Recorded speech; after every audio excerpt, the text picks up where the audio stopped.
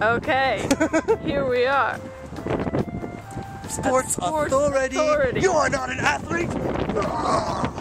I know. That was me. We I was- I cannot throw or catch anything or run. That's why our parents paid for theater camps and Uh-huh. dance lessons. I, that, I'm going into writing. Okay, how much less athletic can you get? Like basically, when we were small children, our parents were like, "Oh no, our kid can't catch. I guess they're an artist."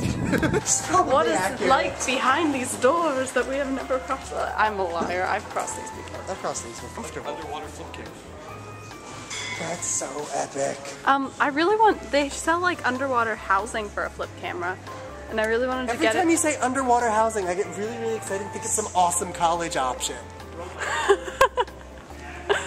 Eric, I want this lacrosse stick because it's pink. You with my intergalactic ego. I sing just like Aretha, so respect me like I'm Caesar. Because the, kicking like adhesive. Be cautious, cause I be on, I'll leave you with amnesia. I break all the rules like Knievel. It's a spectacular show, cause my heart pumps diesel. So whatever you say, and it don't entertain my ego. I do this every day. Hocus pocus, I got the magic in me. Every time I touch that track, it tells me to go. Oh look, it's me.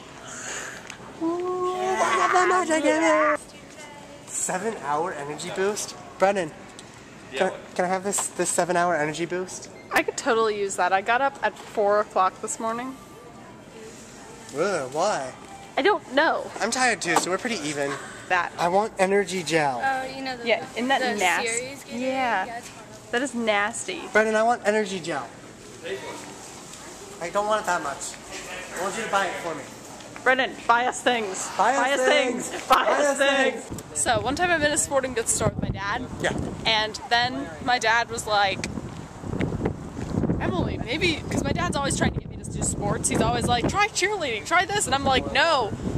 And then my I was my dad was like, maybe you should try track. I think you'd be really good at track. And so I was like, anybody who runs for the fun of it has something wrong with their head. And like 10 people in the store turned around and they were like,